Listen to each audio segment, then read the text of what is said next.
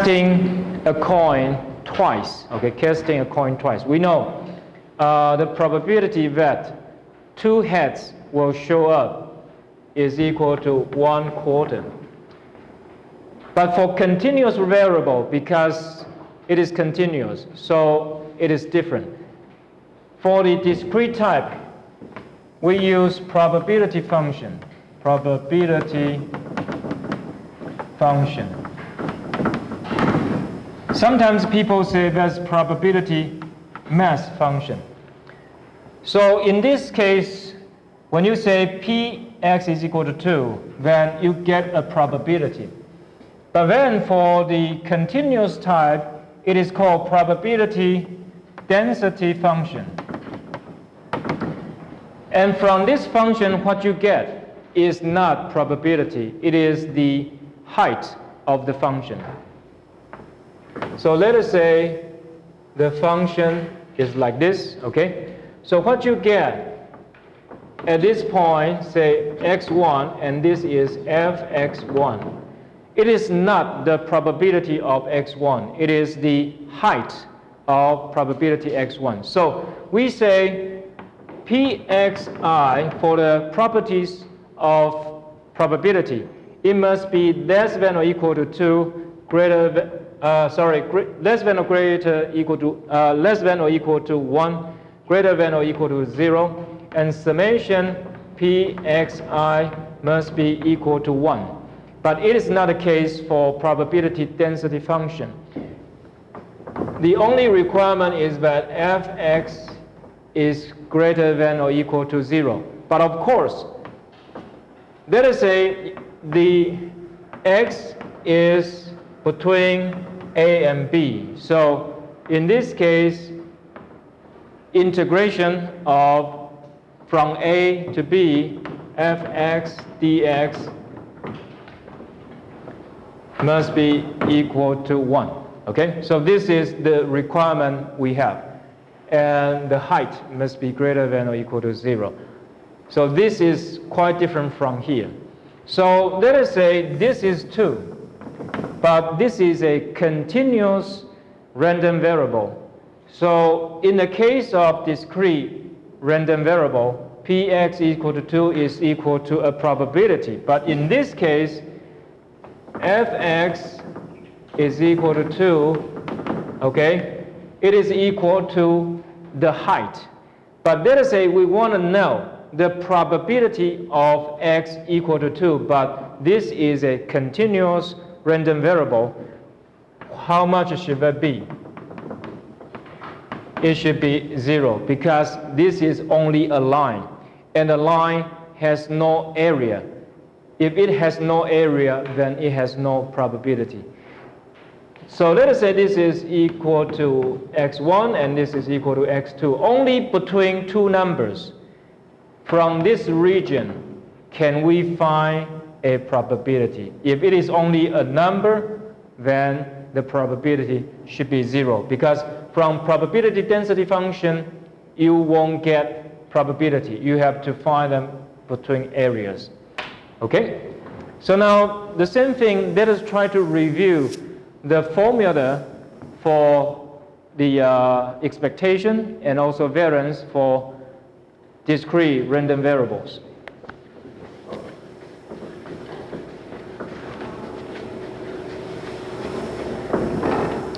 So you know expectation of x is actually equal to summation x times px, right? Okay, so this is what we have. What about variance? Variance is equal to summation. Now I will omit these two parts. x minus mu x squared times px, right? Do you remember how to simplify this? it can be simplified as summation xi, uh, let's uh, forget about, okay, let, us put xi there, okay, put xi there. xi square px minus mu x square, okay? Look at your notes. Last week, we show how to simplify from this formula to this formula. Okay, can anyone tell me what is this? As you know, expectation x is equal to summation xi times pxi. And what is this? This is summation xi squared times pxi. So if you look at these two, this is actually expectation x squared minus mu x squared. Okay? So what does that mean? Expectation x squared is also equal to mu, um, sorry, variance x plus mu x squared. So this is another formula you can use to calculate uh, variance. Okay, another. If you know this information, okay, then you should be, and also this information, then you should be able to get variance. Okay. So this is for discrete. Okay, for discrete random variables. Now let us get to the continuous one.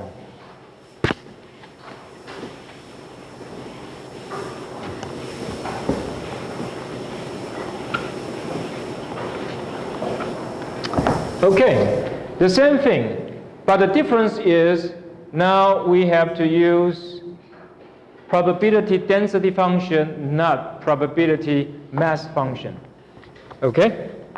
So expectation x will be equal to summation.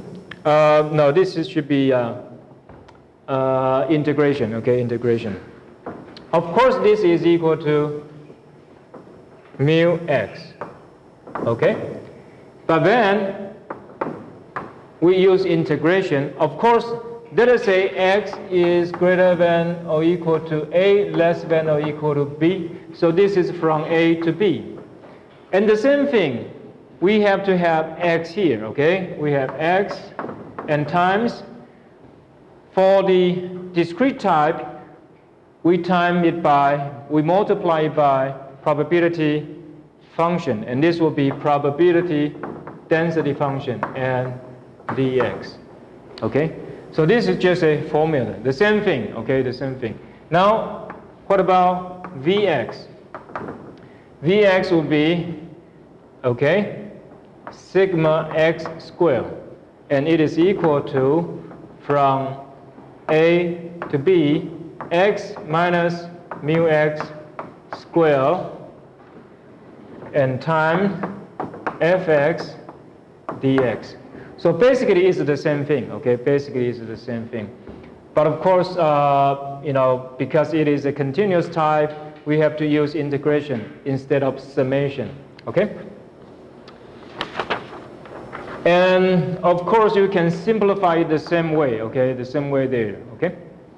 So it will be summation from A to B, okay? x squared times fx dx minus mu x squared. Okay? Any questions so far? Now let's get to a theorem, okay, we call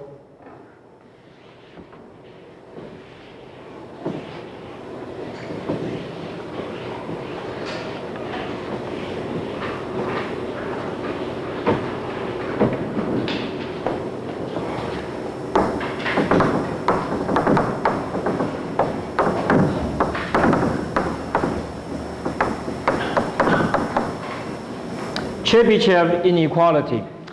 Chebyshev inequality is a formula that gives us an estimate of how things going. So what's the probability of the value falling into a certain region, okay? So let me give you the formula first.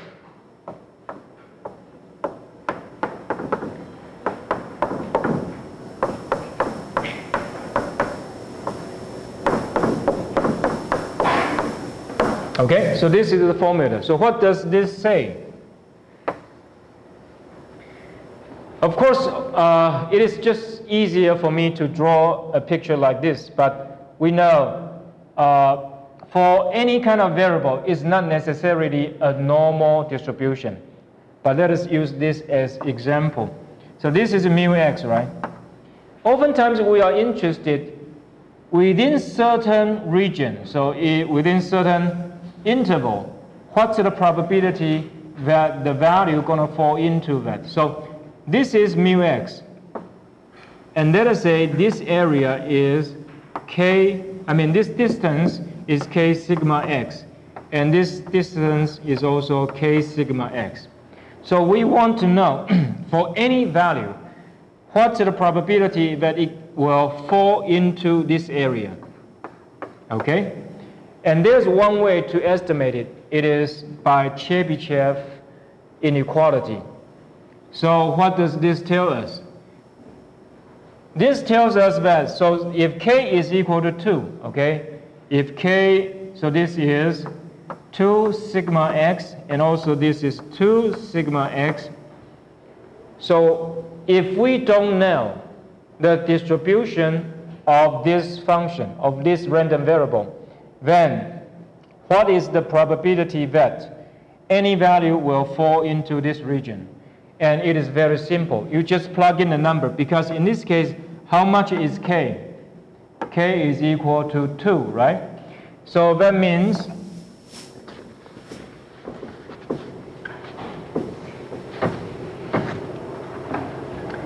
x minus mu x, okay, is less than or equal to 2 times sigma x. So what is the probability that any value will fall into this region? It will be 1 minus 1 over 2 squared, so that is 1 minus 1 quarter, so that's 3 quarters So 75%, right? 75%. So this is one way to estimate, uh, you know, what's the chance that the value will fall into this region, okay? But of course, the best thing for us to have is to know exactly the probability distribution of that random variable. But sometimes if we don't, still we will be able to estimate a approximate probability that any value will fall into this region. Okay? Any questions? Okay, now we get to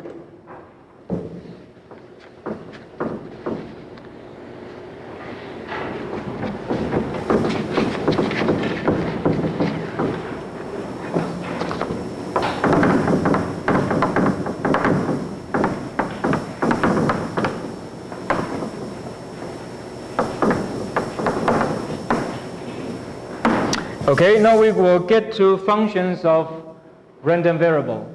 Let us get to this example again. So cast a coin twice.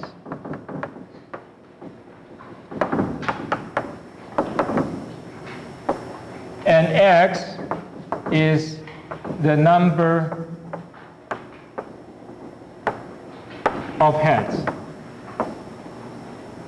Okay? So in this case, we know the probability, right? The probability function x and fx, okay?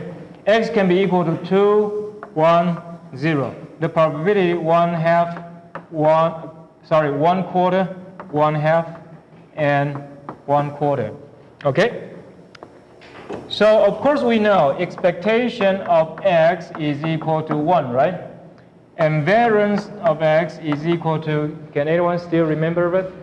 How much is the variance? I think it is one half. Okay, so in this case, what are we going to do? Because sometimes, okay, we can find something that is related to x, okay?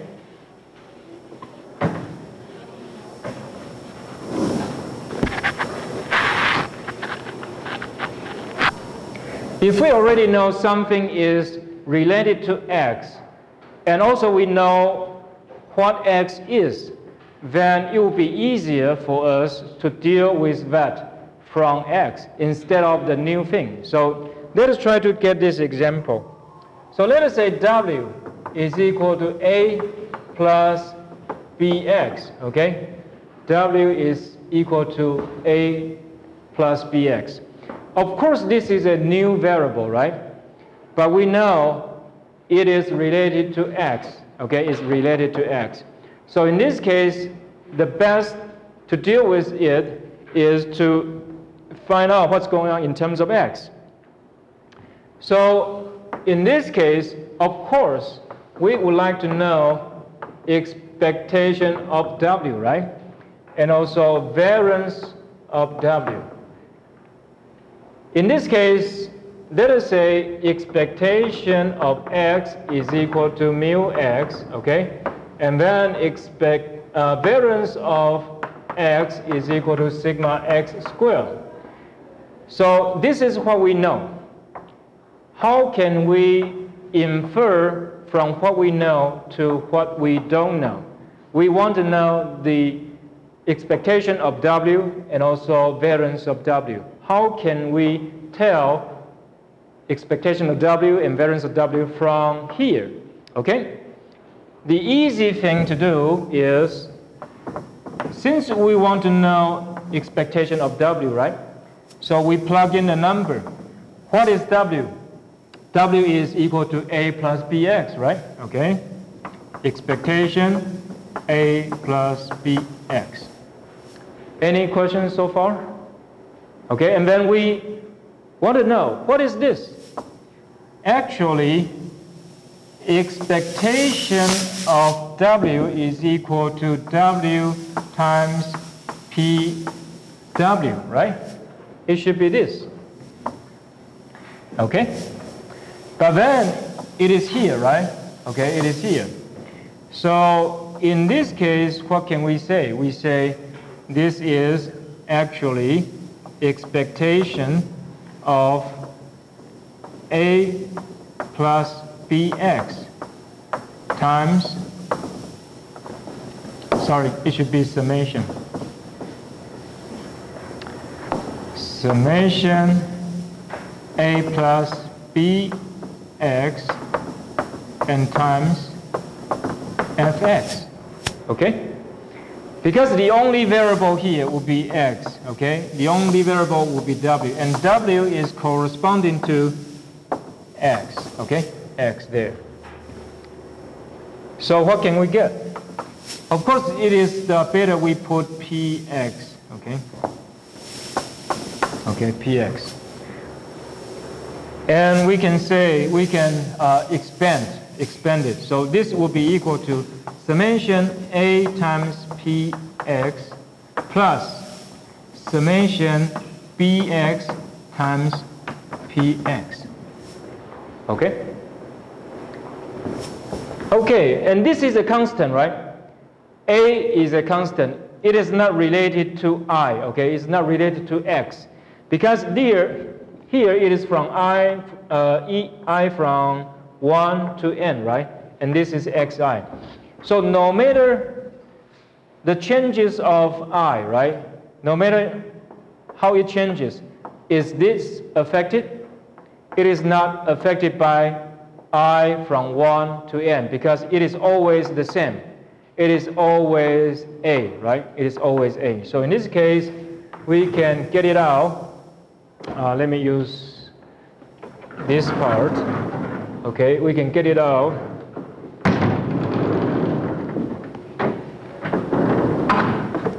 Okay? So it is equal to A times summation Px, right? And plus, the same thing, this is a constant, right? This is a constant. So plus B times summation X times Px. Can anyone tell me how much is here? How much is here? It should be equal to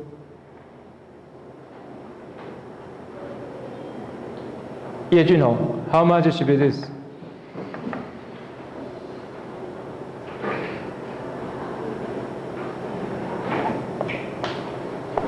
Wu Jinxin. We just mentioned it. What's the probability of a probability function? Summation px must be equal to 1. Okay, you got it right. So this will be A, right? Times, okay. Can anyone tell me what is this? This is Zhang Yuli. What is this?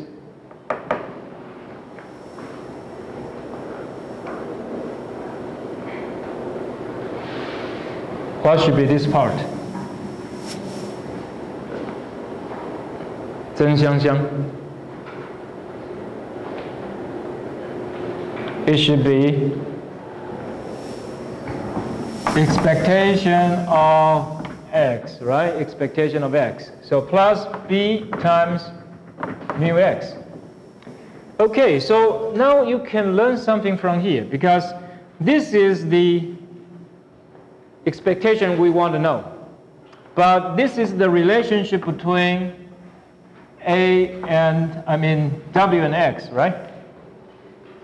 So in this case, you can tell quite easily, okay? If uh, it is E, if W is equal to A plus BX, then as a matter of fact, this should be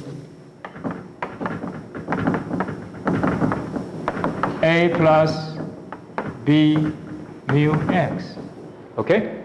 Now we will get to a whole series of examples so that you know clearly if we have a random variable that is a function of another random variable, then actually you don't need to calculate the whole thing. Because from what's going on here, okay, you can tell exactly the relationship between expectation W and expectation X. Okay? So now let us get to uh, some of the example here. Okay?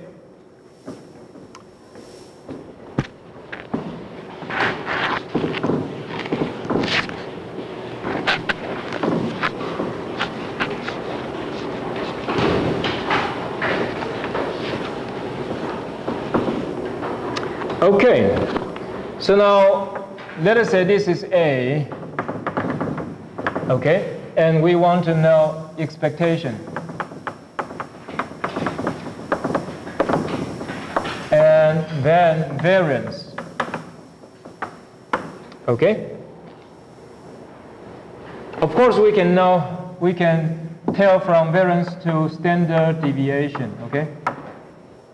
Okay, if we have a whole series of number and it is A, A, there are NA, okay, They're NA. So can anyone tell me what is the expectation? So in this case, it is expectation of A, right? Okay, expectation of A. So what is expectation of A?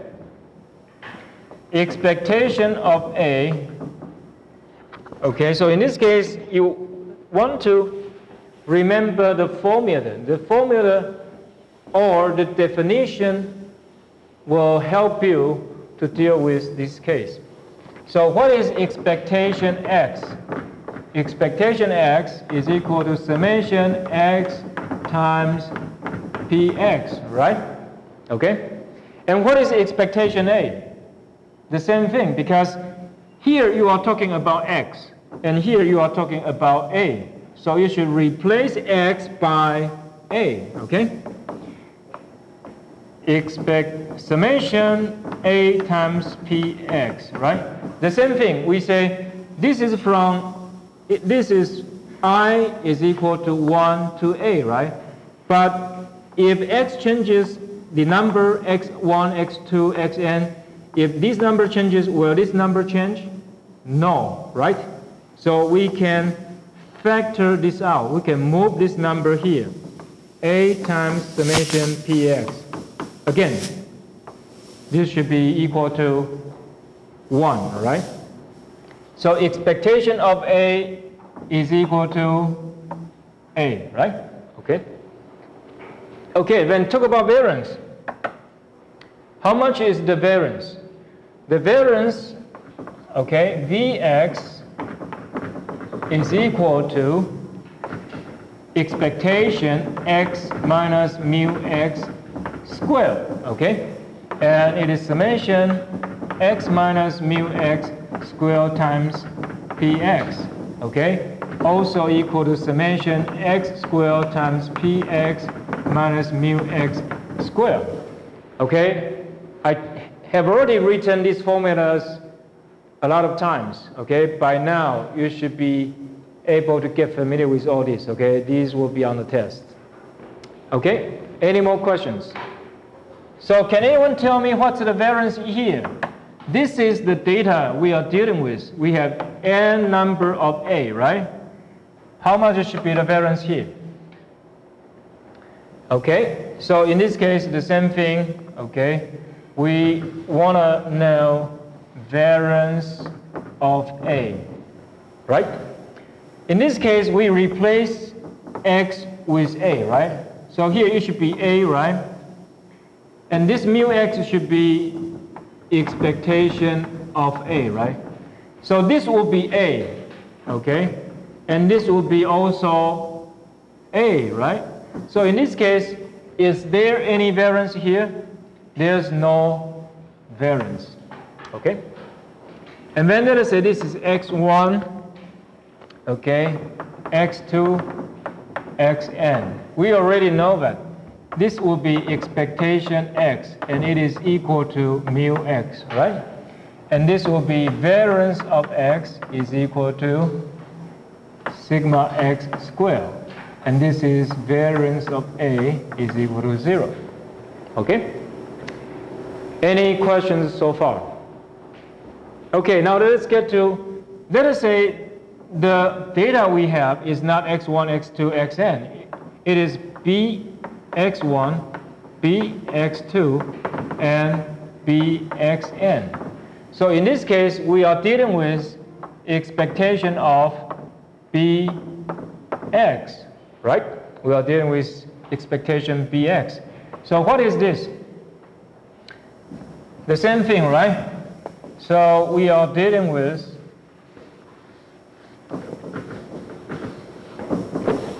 expectation bx. Okay? So it will be equal to summation bx times px. Can anyone tell me what should it be? Because we can move this out, right? We can move this out so it will be b expectation x. Because this part, when this part is moved out, Okay, let me try this, okay? Let me do it this way. B times expect, uh, summation x times px, right? And what is this? That is expectation of x. So that's b times mu x.